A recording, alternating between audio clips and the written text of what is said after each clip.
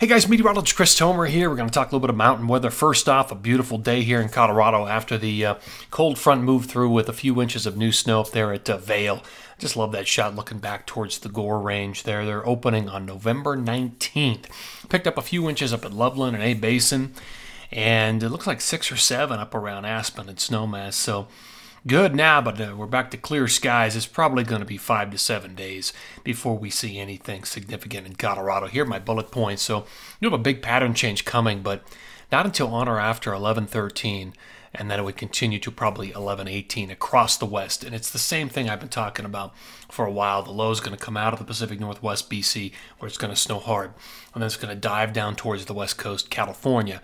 Now, what happens at that point after? It's still relatively up in the air. We've been chasing a lot of different things over the last three or four days, but right now, the snow amounts from where they were three or four days ago are definitely trending down. They've come up a little bit, but they're definitely trending down. And the real, the real question mark at this point is what's going to happen with the atmospheric river contribution?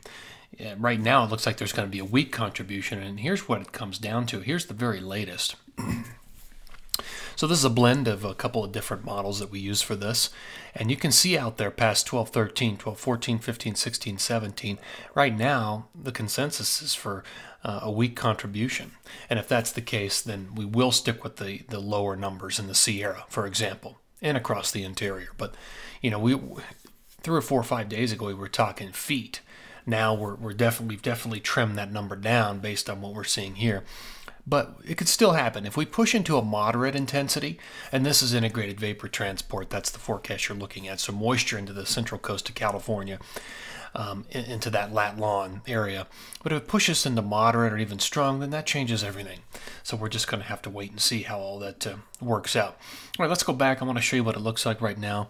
On uh, This is water vapor, so oranges and reds are your drier air aloft. So what we want to look at are where the where's the moisture, and it's up here. This is the big low, nailing Alaska. It's going to nail BC, especially the coastal range down to Whistler, Blackcomb, and into parts of Washington State. We're going to see overrunning snow into Banff and interior BC as well. But it's that low that eventually it's going to dive down here and be the pattern changer. There's also a low here that will be incorporated into the subtropical jet, which will become a player. So it's going to ride it in eventually. But here's the main flow around this area of low pressure. And so that's going to be the key in the, uh, the forecast. Let me show you how this looks. Forecast radar and satellite. Um, here we go into tomorrow morning. You can see all that snow up there through uh, BC.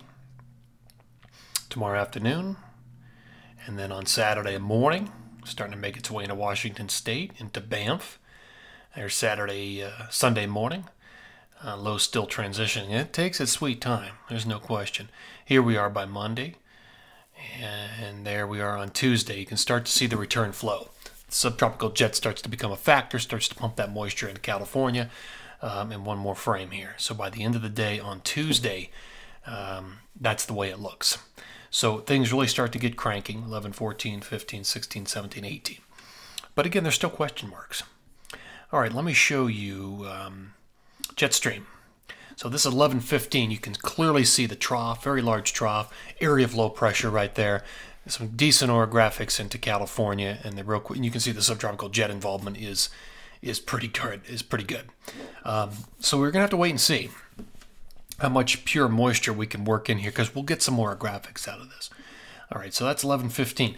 Now this is after it's basically done, the very tail end on 11.18. The lows coming out, exiting uh, Colorado, Wyoming, uh, New Mexico, somewhere in there. So it's exiting. Uh, and what you see on the backside would be a different pattern. Um, so it's the jet has shifted back to the north, favoring the Pacific Northwest and BC for a continuation of heavy precipitation there.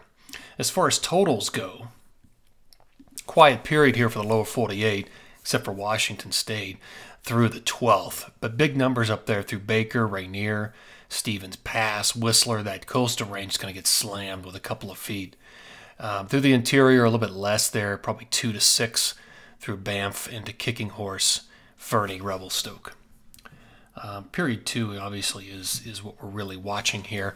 Um, so the numbers have crept back up a little bit, 1 to 2 feet there from Mammoth into Heavenly.